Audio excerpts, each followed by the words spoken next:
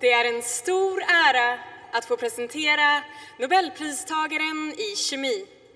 Es ist eine große Ehre, den Nobelpreisträger in Chemie zu präsentieren. It is a great honor to introduce the Nobel laureate in chemistry, Professor Stefan Hey.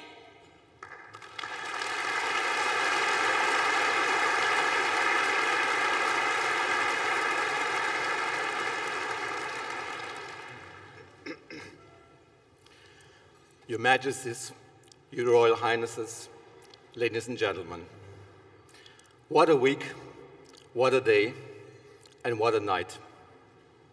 I cannot imagine anything more exhilarating than to stand here this evening, also on behalf of my colleagues W.E. Moerner and Eric Betzig, thanking the Swedish Academy and the Nobel Foundation for the honor that has been bestowed upon us. We are so grateful to all who have supported us on our path, and above all, we feel very, very humbled. Like all laureates, each of us three has his own road to this magnificent hall. Our personal stories have been quite different. Yet, we have much in common passion for what we do, and fascination with things that cannot be done, or let's say, things that cannot be done, supposedly. Erwin Schrödinger, who spoke at his banquet 81 years ago tonight, wrote, It is fair to state that we are not going to experiment with single particles anymore, than we will raise dinosaurs in the zoo. Well, one of us, WE, discovered just the opposite. Single molecules can indeed be seen and played with individually. Now, ladies and gentlemen, what do we learn from this? First, Erwin Schrödinger would never have gone on to write Jurassic Park. Second, as a Nobel laureate, you should say, this or that is never going to happen because you will increase your chances tremendously of being remembered decades later in a Nobel banquet speech. and so, on to super resolution fluorescence imaging. According to the belief, molecules closer together than 200 nanometers could not be told apart with focused light.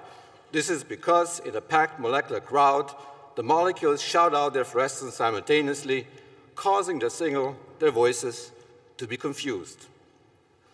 But believe it or not, Eric found a way to discern the molecules by calling on each one of them individually using a microscope so simple that he built it with a friend in his living room.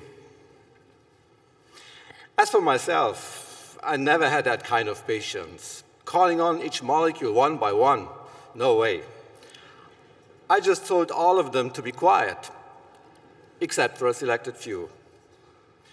Just keep the molecules quiet and let only a few speak up. A simple solution to a supposedly unsolvable problem. It made the resolution limit history. Now, have a guess where did this idea occur to me? Not very far from here, actually, in a student dorm in Finnish Åbo in what you may kindly call a living room. So, what does it take, ladies and gentlemen, to end up standing here telling you a story of important discoveries or improvements? Well, you definitely need a living room. At the very least, you need a place to sleep. And when you fall asleep, you may forget that others consider you too daring or too foolish.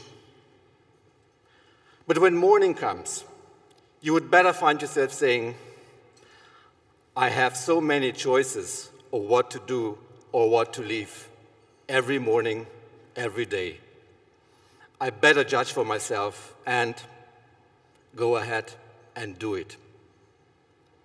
Because nothing is more powerful than an idea whose time has come, even if it came in a living room or to someone with a humble living. And if you feel we'll never raise dinosaurs, who knows? One day, someone may be actually standing here giving a banquet speech. So, ladies and gentlemen, let us embrace a culture that addresses problems deemed impossible to solve, and let us now honor those who will do so with a toast. Skål.